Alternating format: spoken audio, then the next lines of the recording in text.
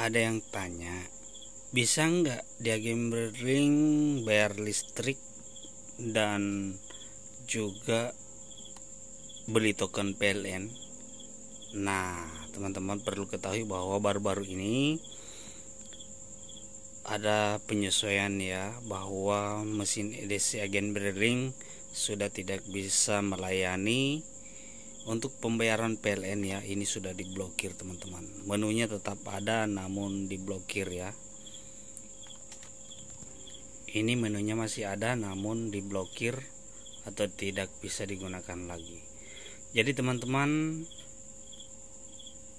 sekarang agen Brilling sudah tidak bisa melakukan pembayaran listrik PLN dan pembayaran atau pembelian token PLN namun tenang teman-teman karena zaman sekarang ada pembaharuan bahwa ada mesin edisi terbaru ya yang bisa melakukan pembayaran listrik PLN dan juga pembelian token. Apa itu teman-teman? Seperti ini alatnya.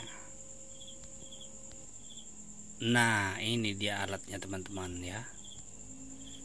Jadi ini adalah alat terbarunya ya teman-teman. Kalau ini masih tombol kalau ini sudah touchscreen teman-teman. Seperti ini jadi ya cuma model seperti ini yang bisa melakukan pembayaran ya.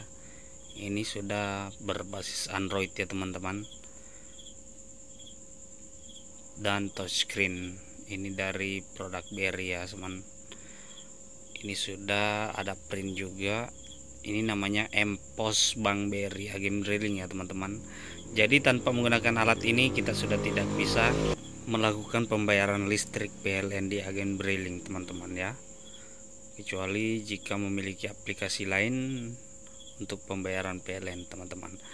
Jadi jika teman-teman ada yang bertanya bisa atau sudah tidak bisa melakukan pembayaran di listrik PLN di agen Brilling ya semoga video ini bermanfaat ya. Oke jangan lupa dukung channel ini dengan subscribe like dan share. Wassalamualaikum warahmatullahi wabarakatuh